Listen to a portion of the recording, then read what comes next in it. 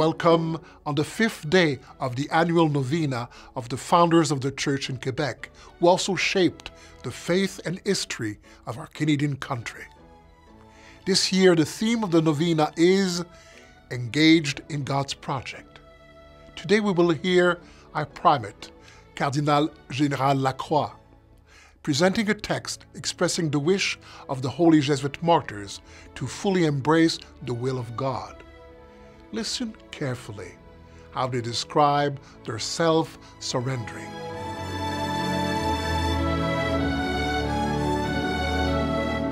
I abandon to your example all those things for the sake of the salvation of souls whom you consider to be yours, whom you love to the point of death and of whom you said, What you did to the least of these, you did to me.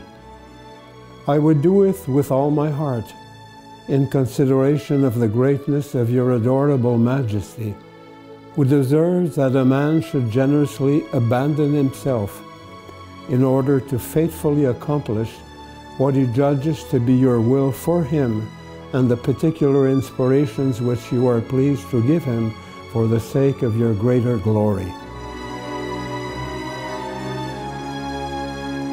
The Jesuit missionaries who came to evangelize in New France in the New World had received a spiritual formation rooted in prayer and contemplation. And they were also formed with a very intense missionary apostolic spirit the lives of the Canadian martyrs are edifying and inspiring.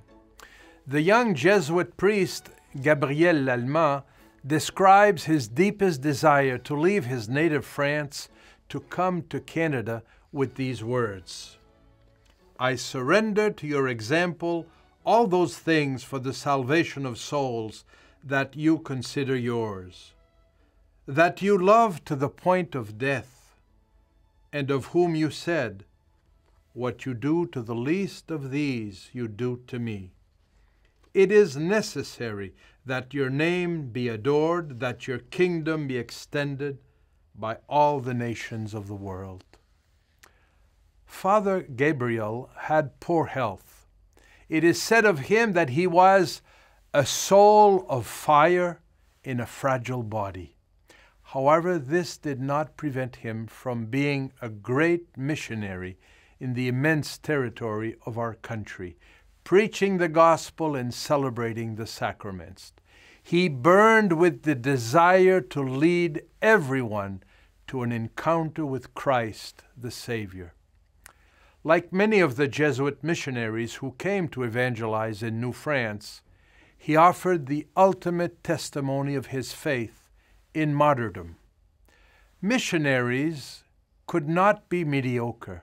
They had to opt for heroism or leave, which happened in a few cases, but most were animated by an incandescent zeal. For too long we have spoken of martyrdom in terms of torture, executioners, and hatred of the faith. The language of the Second Vatican Council helps us to adjust our way of speaking about martyrdom.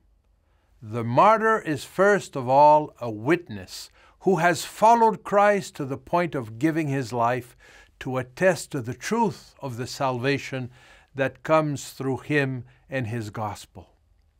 The determining criterion of martyrdom is positive to give one's life for Christ to one's brothers and sisters as a sign of the greatest love.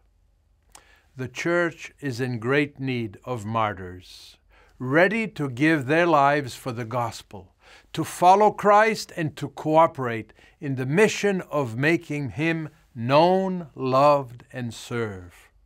Let us be inspired by these holy laymen and priests who have left us the witness of faith and their blood.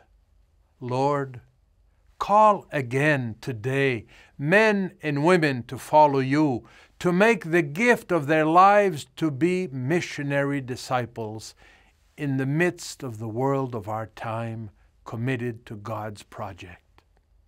The world needs luminous, coherent, and loving witnesses of Christ and also of the humanity. May the Canadian martyrs intercede, God our Father, so that a new generation of saints may arise in our country.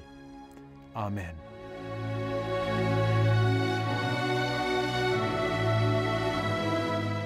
We are again grateful to Cardinal Lacroix for his insightful commentary. Following the traces of the holy Jesuit martyrs will not be easy for you, since they traveled on foot all year long. Luckily for us, we can still find in the old city center of Quebec the remnants of their first chapel and precious relics that you may venerate not only in their actual chapel, but also in the chapel of the Augustinian Sisters and the Basilica Cathedral, all located very close to one another. What a splendid pilgrimage that would be! We will meet again tomorrow, on the fifth day of our novena, to hear more from Sainte Marie of the Incarnation. Until then, may God bless you all.